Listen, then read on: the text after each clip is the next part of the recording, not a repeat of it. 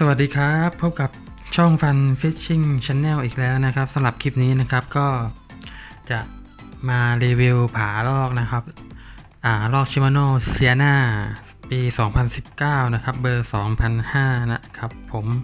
ก็จริงๆ ตัวนี้ก็ใช้งานมาสักพักแล้วนะครับ ผมก็เอาไปใช้งานน้ำเค็มล้วนๆเลยนะครับ ไม่ไม่เคยใช้น้ำจืดเลย ใช้น้ำเค็มล้วนๆแล้วก็ ผมได้ทำการอ่า ล้างไปแล้วรอบหนึ่งแต่ว่ายังไม่เอาไปใช้นะครับเพราะติดช่วงโควิดนะครับก็วันนี้อยากจะมาให้ดูว่าาผมเอาไปใช้น้ำเค็มมาแล้วเนี่ยใช้น้ำเค็มมาหลายทริปเนี่ยสภาพภายในมันเป็นยังไงบ้างนะครับสำหรับสเปคลอกตัวนี้นะครับก็เป็นเบอร์เบอร์2005เนี่ยบอดี้body เขาจะบอกว่าเป็น XT7 นะครับ XT7 ก็ผมไม่รู้ว่าเขาผสมอะไรไปบ้างเป็นประตู body ครับ ซึ่งมันมีความแข็งแรงมากนะครับ แข็งแรงมาก เรียกได้ว่าเกือบเกือบจะ เทียบเท่ากับพวกโลหะเลยนะครับ แต่ว่าไม่ถึงกับเป็นโลหะนะครับ แต่ว่ามันบิดอย่างเงี้ยมันไม่ไปมันแข็งแรงนะครับ แล้ว body มีความเรียวสวยนะครับ แล้วก็ body เนี่ยมีขนาดเล็กนะครับเนี่ยเพรียวบางเล็กนะครับอะนะครับ แล้วก็ส่วน spool เนี่ย spool เนี่ย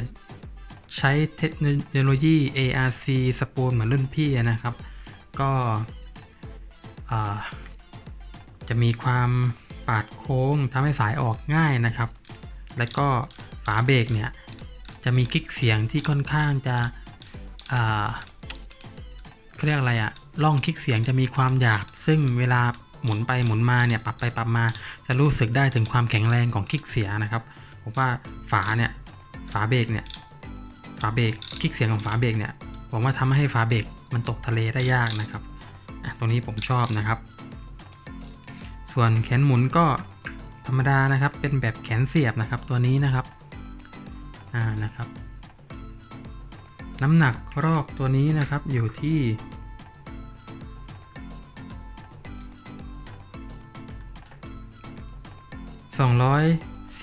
244 กรัมนะครับ244 กรัม นะครับน้ำหนักรอกนะครับ 244 กรัมนะครับ ก็ถือได้ว่าเป็นรอกที่น่าใช้งาน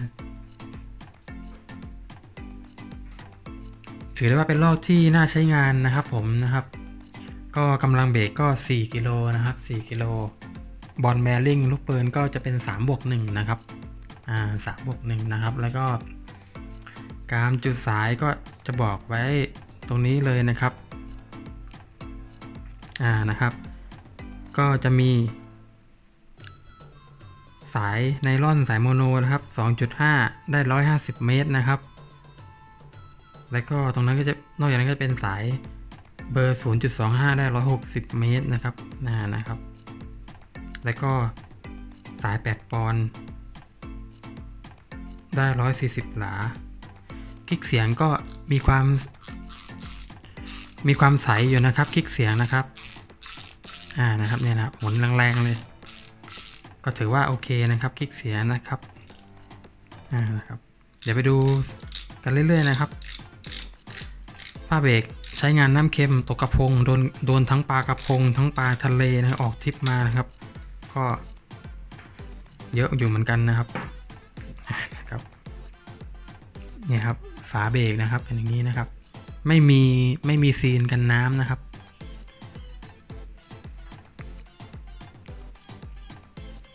ผ่นเบรกนะครับ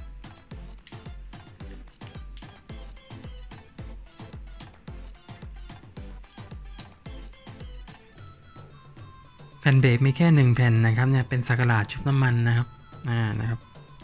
มีแค่นี้นะครับเบอร์2005เบรก4กิโลก็ถือว่าใช้ระดับกลางๆตกปลาเล็กนะครับปลาไซจานก็ยังพอได้นะครับ ข้างในฝาเบรกก็จะเป็นอย่างนี้นะครับ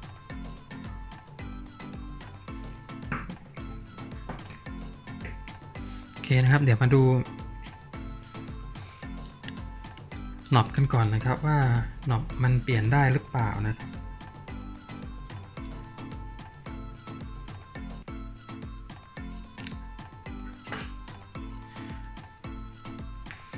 รูของแกนหนบอยู่ที่ 3.5 มิลนะครับอย่างเงี้ยรูของแกนนอปเนี่ยครับอย่างเงี้ยนะครับประมาณ 3.5 มิล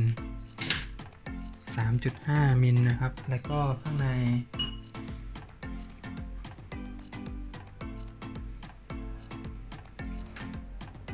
ข้างในจะมีอถอดออกมาแล้วนะครับ ผมต้องถอดฝาจุกนี้ออกก่อนนะครับ ฝาจุกเป็นพลาสติกนะครับ ข้างในก็จะเป็นน็อตนะครับ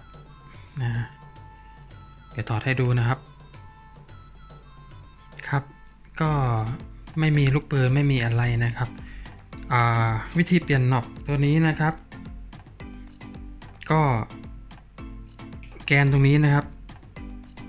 ต้องเจียออกนะครับ เจียออกนะครับ ซึ่งลองไปดูคลิปที่ผมผ่า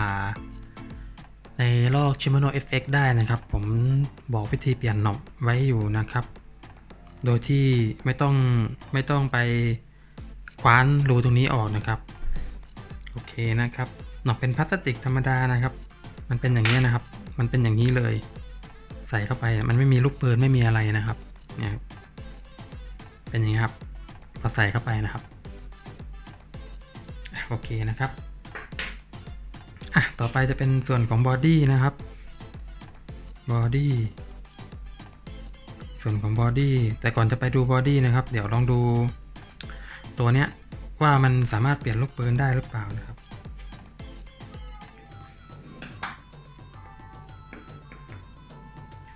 เสียงแมวมาอีกแล้ว ช่วงนี้เราดูแมวผสมพันธุ์นะครับโหตัวผู้ร้องหาตัวเมียนี่ทุกคืนเลย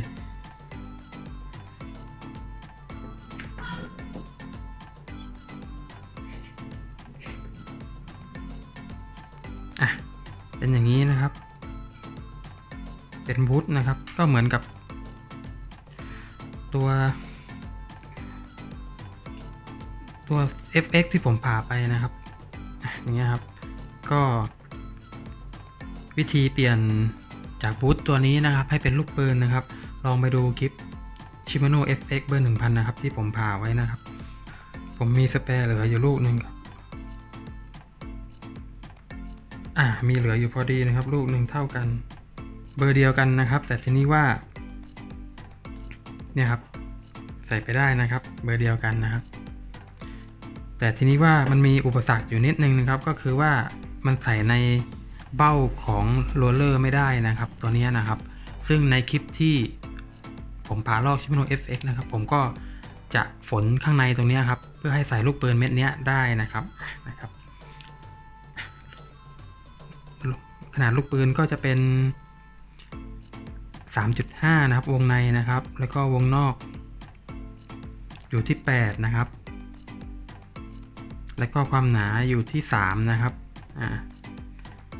แปดสามสามจุดห้านะครับ เนี่ยนะครับ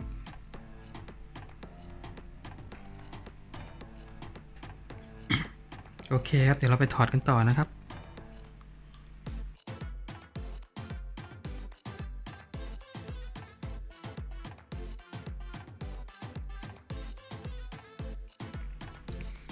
เปิดมาก็จะเจอชุดลูกปืนนะครับ กันตีกลับนะครับอย่างนี้นะครับ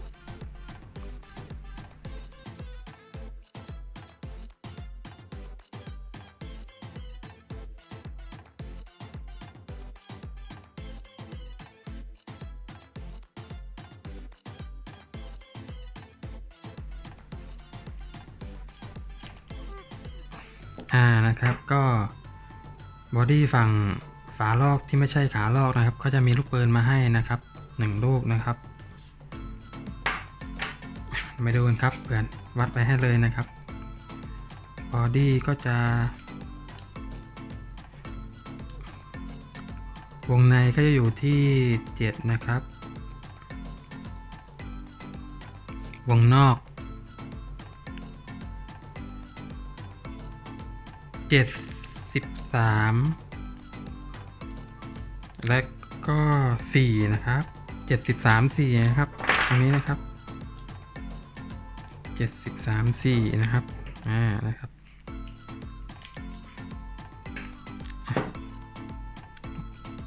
ลูกปืนอีกฝั่งหนึ่งนะครับ จะไม่เท่ากันนะครับ สังเกตดีๆนะครับ ลูกปืนมันจะไม่เท่ากันนะครับ ฝั่งที่เป็นลูกปืนฝั่งขาลอกมันจะเล็กกว่า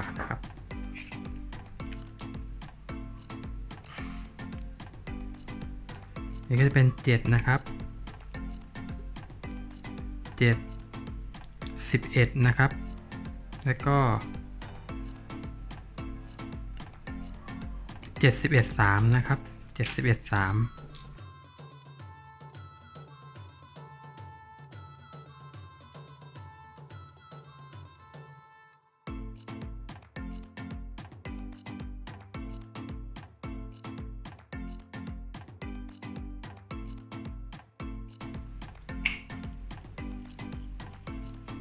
อ่านะครับ ต่อไปก็จะเป็นลูกปืนของพีเนียนเกียร์นะครับพีเนียนเกียร์เนี่ยครับ ก็ผ่านน้ำเค็มมานะครับ เห็นไหมครับ ก็มีสนิมนะครับ แล้วนะครับ นี่ผมล้างไปล้างไปแล้วนะครับ รอบหนึ่งนะครับ ก็ล้างออกได้เท่านี้นะครับ ก็สำหรับลูกปืนตรงนี้นะครับ เนี่ยครับ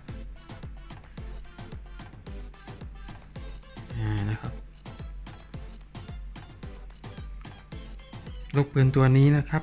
ลูกปืนประคองพิเนียนเกียร์ วงในอยู่ที่ 7 นะครับ วงนอก74 แล้วก็ 5 นะครับ 74 5 นะครับ อ่า 74 5 ลูกปืนของพีเนียนเกียร์ 74 5 นะครับ และก็จะมีอีกตัวที่เป็นพุทธนะครับ ตรงนี้นะครับสามารถอัพเป็นลูกปืนได้นะครับ นี่ครับเดี๋ยวผมวัดไปให้เลยนะครับอ่าตรงนี้นะครับ ก็วงในนะครับ 5 นะครับ 5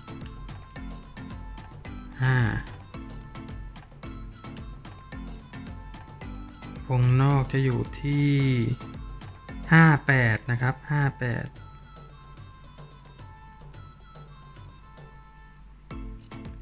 58 2.3 นะครับไอ้583 นะครับ นะครับ 583 นะครับ อะ โอเคนะครับผม ก็สรุปว่าเรียบร้อยนะครับ ตำแหน่งที่อัพลูกปืนทั้งหมดนะครับ สรุปให้อีกรอบนะครับ ตรงนี้อัพลูกปืนนะครับ ตรงนี้ 1 เม็ดนะครับ อ่า ครับ ใต้เฟืองพิเนียนเกียร์นะครับ 1 เม็ดนะครับ แล้วก็ในลน์โรลเลอร์นะครับ 1 เม็ดนะครับที่อัพได้นะครับ แล้วก็ส่วนต่างๆ ก็ผมบอกไปหมดแล้วนะครับ ว่าตรงไหนเปลี่ยนอะไรเบอร์ไหนได้บ้างนะครับ ก็ผ่าลอกชิม a โนเซียนาเบอร์2005นะครับที่ลุยน้ำเค็มมาผมล้างมาเรียบร้อยก็หลักๆ ก็จะต้องดูแลเรื่องของลูกปืนนะครับ ลูกปืนเพราะว่าเราไปเล่นน้ำเค็มมาเนี่ยโอกาสที่จะจะโดนน้ำเค็มเนี่ยเนี่ยขนาดไอตัวนี้ครับมันอยู่ในข้างในใต้โรเตอร์ยังโดนเลยนะครับ เพราะว่ามีโอกาสที่ไอ้น้ำเค็มเนี่ยมันจะไหลผ่านลงมา ทางแกนชักเนี่ยแกนชักตัวนี้ได้นะครับนะครับ มันอาจจะไหลผ่านมาได้นะครับ ซึ่งก็ตรงนี้ก็อาจจะเจอน้ำเค็มได้เหมือนตัวนี้นะครับนะครับ ซึ่งก็ต้องดูนะครับว่าถ้าหมุนมีอาการเริ่มสักๆมือหรือว่าขึ้นมืออะไรเงี้ยครับก็ต้องแกะมาเช็คดูแล้วนะครับนะครับก็โอเคนะครับสำหรับผาลอกเซียนานะครับเบอร์ 2005 ปี 2019 นะครับ ก็ฝากไว้เพียงเท่านี้นะครับ สำหรับคลิปนี้นะครับ ก็อย่าลืมกด Subscribe กดกระดิ่ง เพื่อที่จะไม่พลาดคลิปถัดไปด้วยนะครับนะนะครับ ก็สำหรับคลิปนี้ก็ขอลาไปก่อนนะครับ สวัสดีครับ